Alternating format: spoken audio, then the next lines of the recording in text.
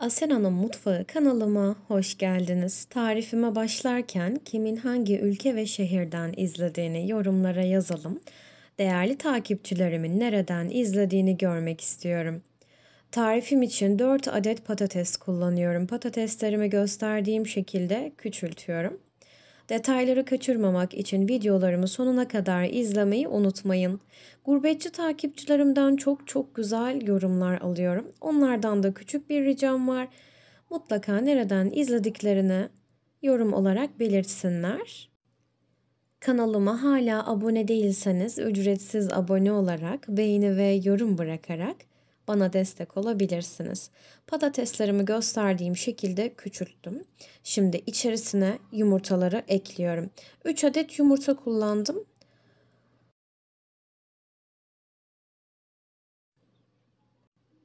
Baharat olarak dilediğiniz bütün baharatları ekleyebilirsiniz. Ben her biri birer çay kaşığı olacak şekilde pul biber, kırmızı toz biber ve kekik ekledim. Tabi tuzu unutmayalım. İçerisine 2 su bardağı süt ekliyorum.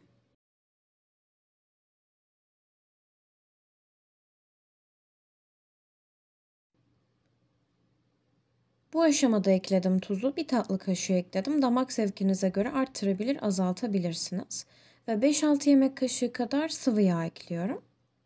Artık blenderımdan geçirebilirim. İçerisinde hiçbir büyük parça kalmadığından emin olacak şekilde blenderımızdan geçirelim.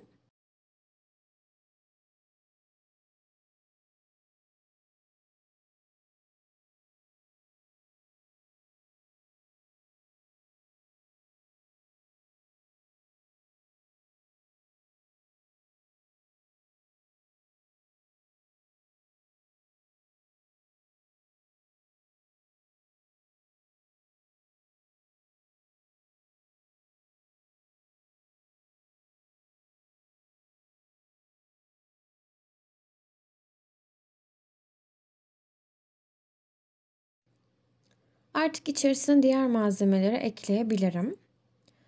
5-6 yemek kaşığı dolusu un ekliyorum. Ve dereotu ekliyorum. Ben dereotumu genellikle bu şekilde küçük küçük doğrayarak paketliyor ve buzlukta muhafaza ediyorum. Çok daha pratik oluyorlar ve bozulmuyorlar.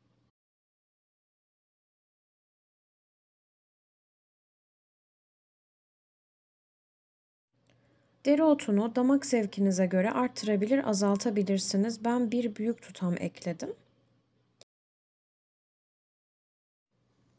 Güzelce karıştırıyorum. Dilerseniz çırpıcı yardımıyla da karıştırabilirsiniz. İçerisinde hiçbir topak kalmamasına özen gösterelim.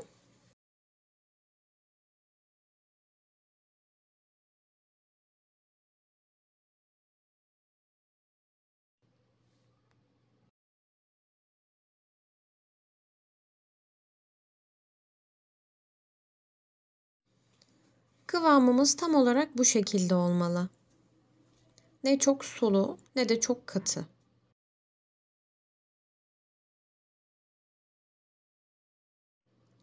Yapıştırmayan tavamı ocağıma aldım ve ısıttım. İçerisine yağ vesaire eklememize hiç gerek yok. Ve içerisine bir buçuk kepçe kadar hazırlamış olduğum karışımdan ekliyorum.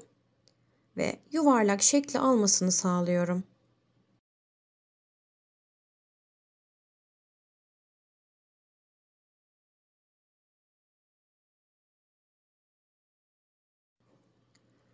Bu şekilde üzeri hafif kurumaya başladıktan sonra artık hazır hale yaklaşıyor demektir. Tamamıyla kuruduktan sonra ise artık hazır demektir. Ters çeviriyorum ve iyice kızarmasını sağlıyorum.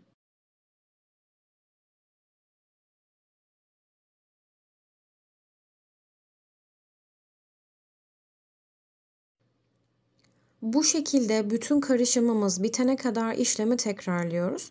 Bu arada kısaca belirtmek istiyorum. Çok çok lezzetli oluyor. Mutlaka denemelisiniz.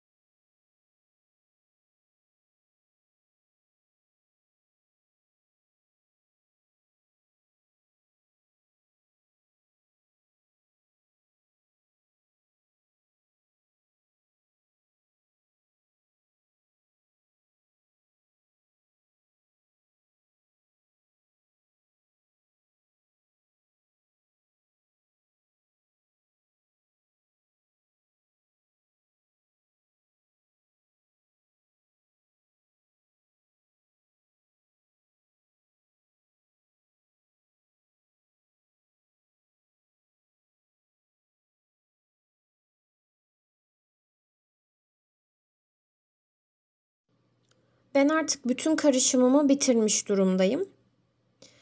Dilerseniz bu şekilde içerisine kaşar peynir serpiştirip katlayarak da kaşar peynirli hale getirebilirsiniz. Bundan sonrası size kalmış. Dilediğiniz şekilde tüketebilirsiniz. Ama bu şekilde de çok çok lezzetli oluyor.